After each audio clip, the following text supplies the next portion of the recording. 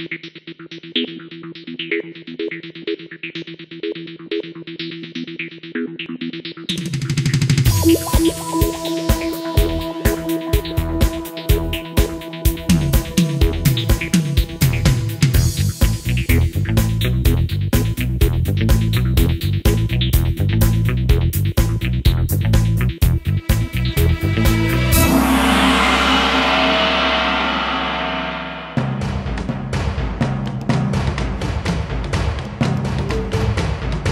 One thing I notice is we're not getting the uh, the temperature surges like we used to, um, and on the particularly on the grid, but the, without any pressure and boiling, it uh, it's, it's the car seems to go off the line much quicker, uh, and just you know I don't have to look at the temperature gauge anywhere near as much as I used to since I've been running the coolant.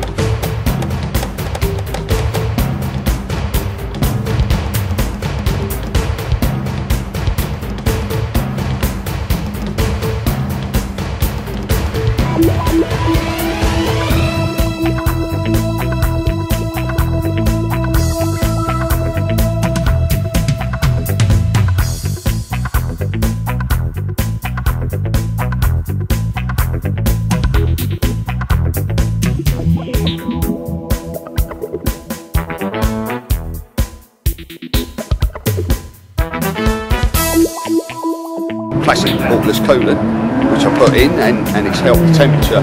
Uh, it's far more stable. And then um, they've now given me this uh, Power 180, uh, which is really for, for more high performance race engines, which has improved things even more.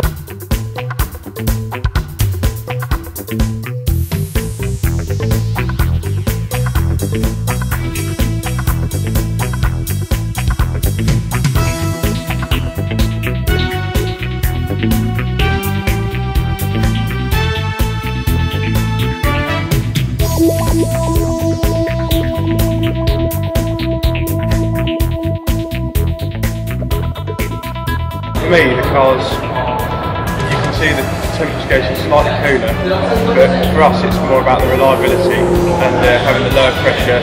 You get any small stone chips and cracks in the radiator, you don't lose all your fluid and it's not the end of the race. Um, and it is useful for us, I think it's more of a making the car's going to survive the distance if anything